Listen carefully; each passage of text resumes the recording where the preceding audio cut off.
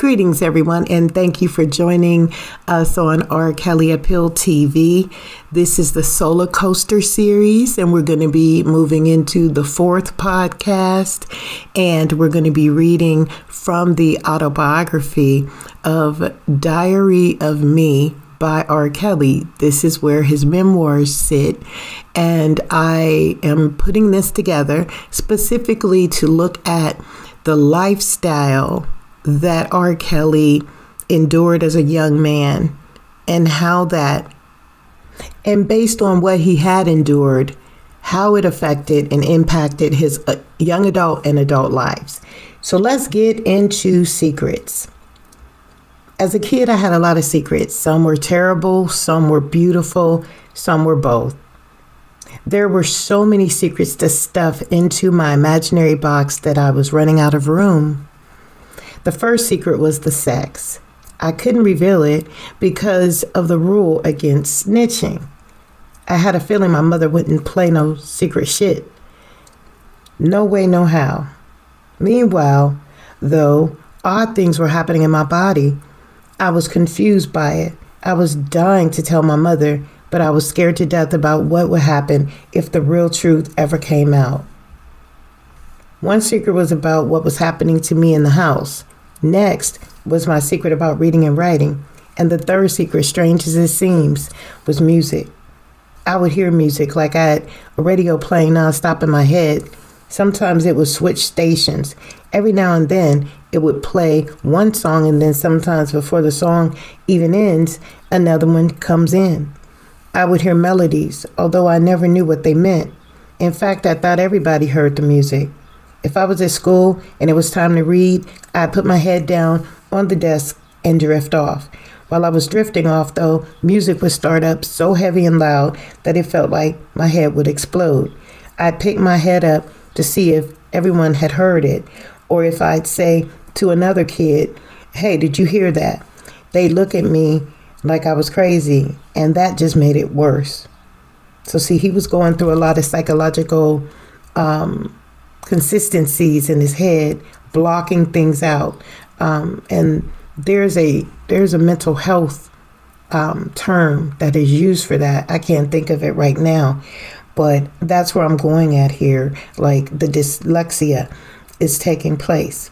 Moving on. It was another problem that I put in my brick box because I didn't want everyone to know. And I was afraid about what would happen if they found out. It was one of the scariest times in my life. I couldn't figure out if I was sick or retarded or dying or if there was just something really messed up about me. My mother always taught me that too much of anything can kill you. So I used to worry about too much music happening inside of me. Was it an overload, an overdose? I couldn't really tell anyone how music would leave me alone how music wouldn't leave me alone. No one except maybe my mother would understand.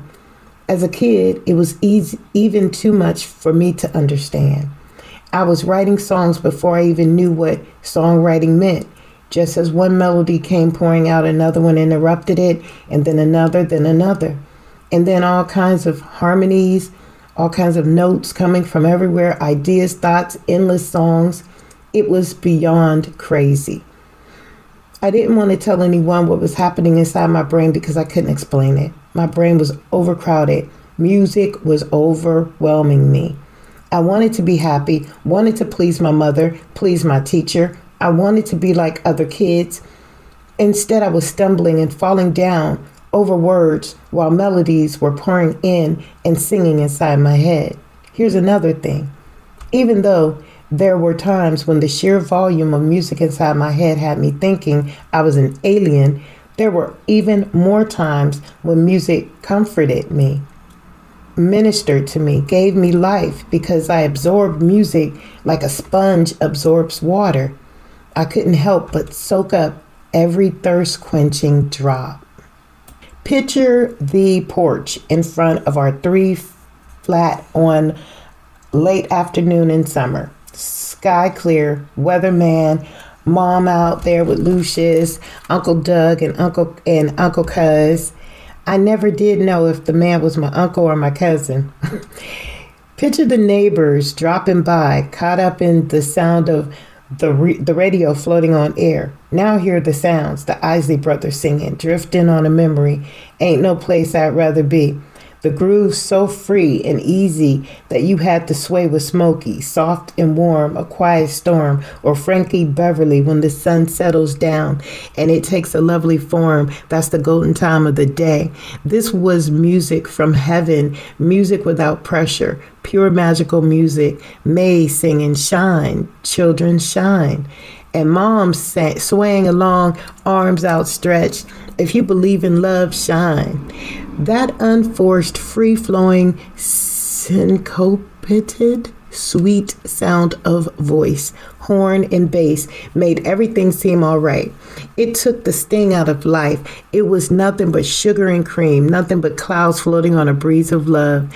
Music said, music said life for all the strife could be heaven on earth if only we listened to the singers and the songs they sang watching them listening to Teddy Pendergrass or Donny Hathaway, David Ruffin, or Eddie Levert, Etta James, or Curtis Mayfield, I started dreaming this dream.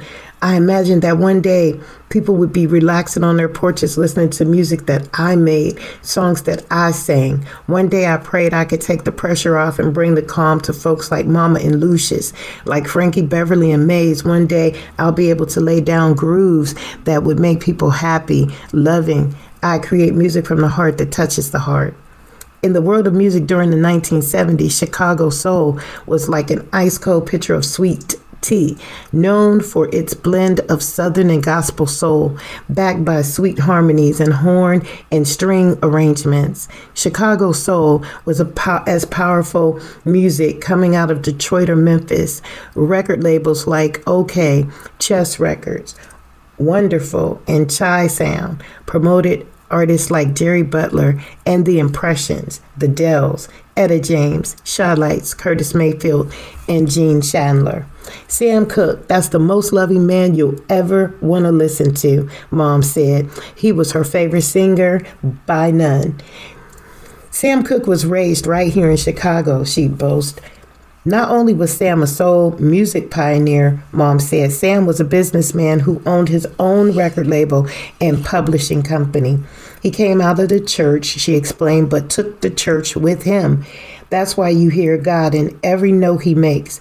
Ain't no one like Sam. Even though I was only 10 years old, she strongly urged me to study this man. You learn him good. There were two sides to him, and you best learn them both. When he was with the soul singer singing gospel, and when he started singing pop, no one could touch him, baby. Each side of that man's music was as good as the other. My mother and I listened to Sam Cooke for hours on end, whether it was touch the hem of his garment or you send me, whether Jesus wash away my troubles or twist the night away near to thee, or Cupid, he'll make a way, or I love you for sentimental reasons, joy, joy to my soul, or change gonna come. I could hear the church echo in Cooke's silky voice. His soulful confession helped me understand what I saw at home in church on the streets of South Chicago. I understood sorrow with chain gang, dreamed of giddy love with Cupid, and enjoyed finger popping with Twisting the Night Away. Listening to Sam's Cooke music wasn't enough for mom, though. She wanted to make sure I truly understood his ability to manipulate lyrics and command each genre. No matter if it was a bluesy ballad, soul felt gospel, raw rock and roll, or funky theme and blues. Hear him bend that note, baby, she would say. That's his specialty. Singers are like great chefs. They got their specialties. Some can bake pies, some can, can fry chicken. You'll find your specialty, sweetheart. And when you do, the minute you open your mouth to sing, folks will know it's you. Meanwhile, listen to the chefs, learn their recipes. My mother considered Stevie Wonder a master chef. The first Stevie song I learned was Fingertips. When I got older, she took Stevie's Master Blaster cut and taught me how to memorize every last lick, every breath, every riff. She placed a nickel on the record player needle to slow down the revolution so the runs could go really slow so I could learn them and get them down pat. Joanne Kelly and Stevie Wonder's mother, Lula Mae Hardaway, had a lot in common. Lula Mae also recognized her son's musical gift at an early age and nurtured his genius. Stevie was barely a teen when his mother heard him repeating, just like a slice of lyric, Here I am, baby, here I am, baby. It was Lula Mae who supplied the hook. Signed, sealed, delivered, I'm yours. Stevie's mother was by his side when he signed with Motown in 1961, and she helped him write hit records such as I Was Made to Love her you met her match. You oh you met your match and i didn't know why i love you. Soon i was sounding like stevie then stevie. Same was true with marvin gaye. I could sing what's going on or let's get it on with that marvin like attitude mellow but intense. I could fix my voice like donny hathaway. Mom made sure i knew the songs of the older cats like jackie wilson and ray charles.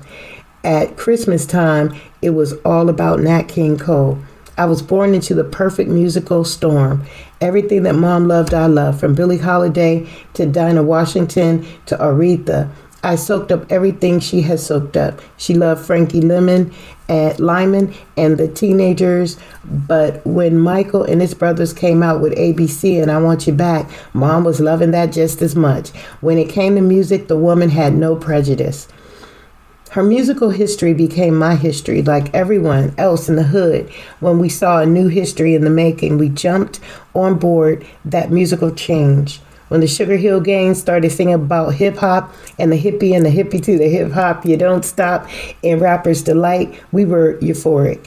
Those were early jams. Kurtis Blow's 1980, The, the Breaks, which was the first certified gold rap record.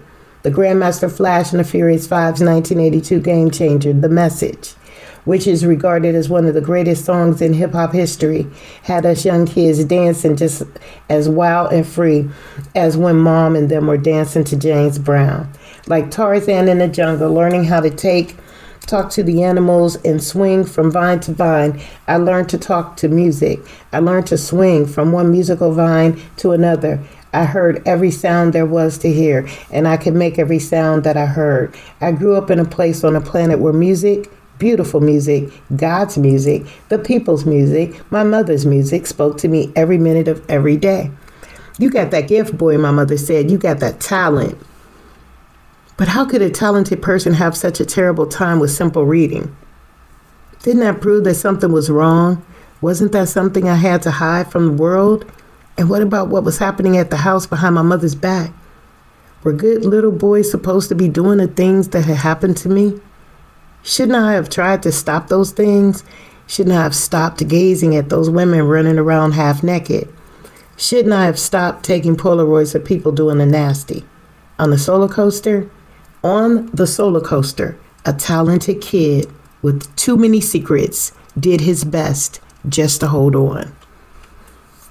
How were we living during nine and 10 years old?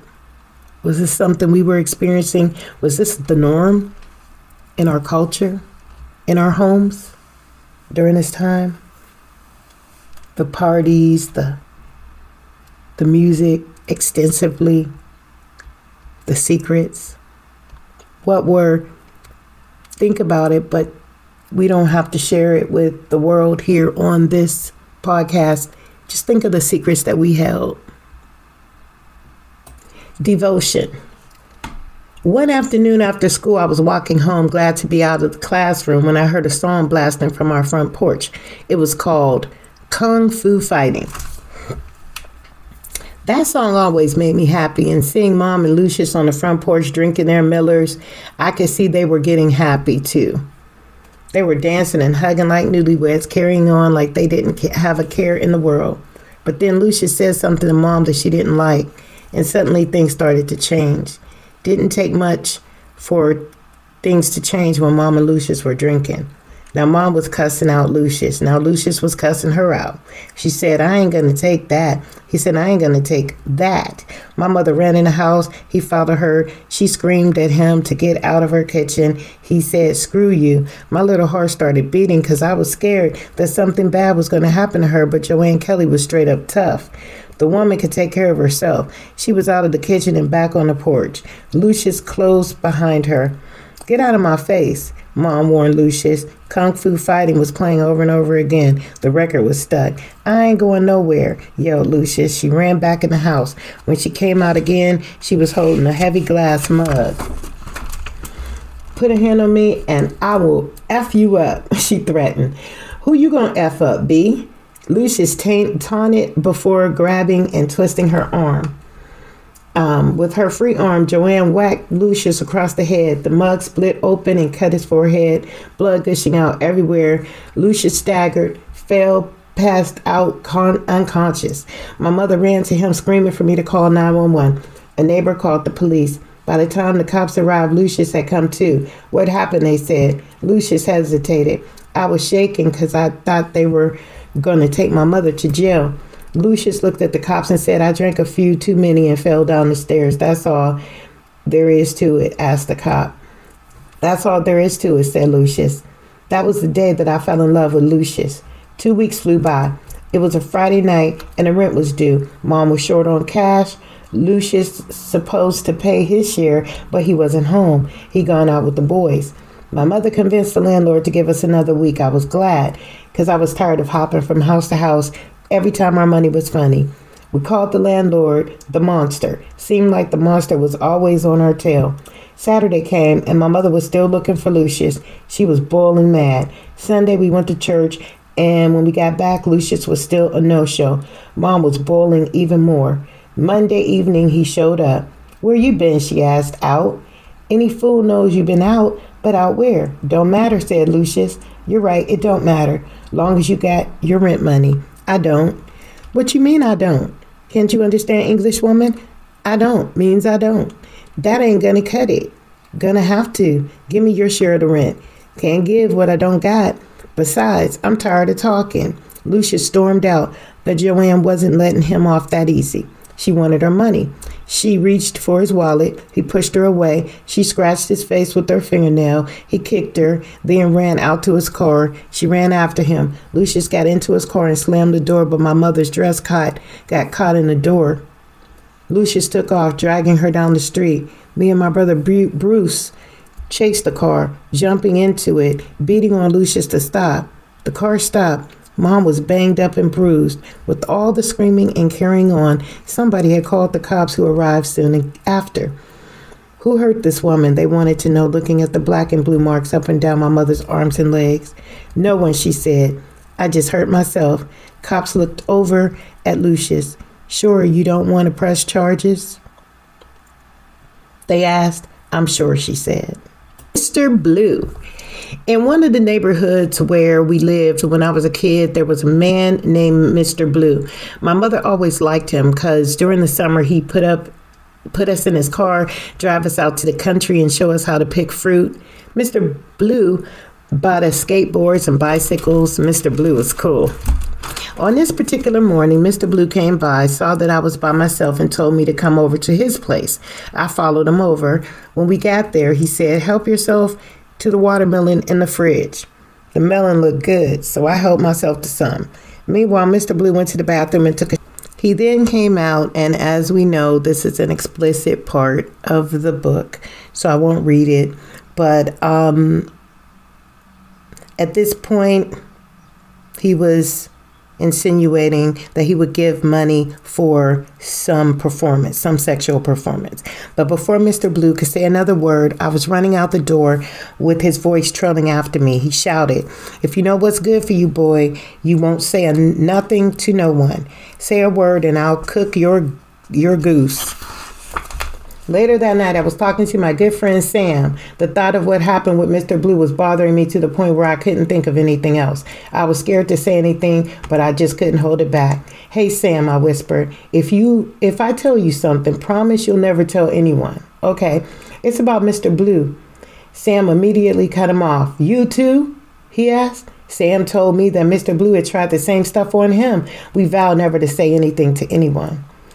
Wow, some of the men that were in this area, and, and, and even to this day, there are still creepy crawlies like that just everywhere. And it's, oh. A month later, I was putting together another cardboard house in the backyard. This time I got real curtains.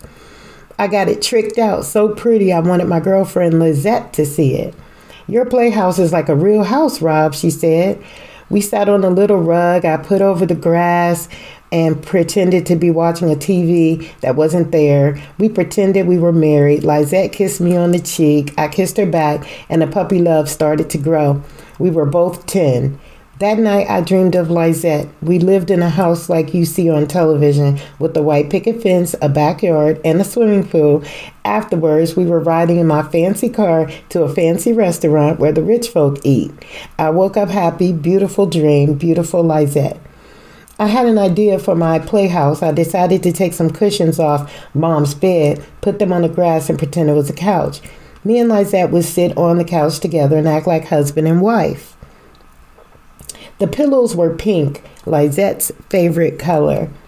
I grabbed the pillows and carried them outside. When I got to the yard, I saw that the playhouse door was ajar.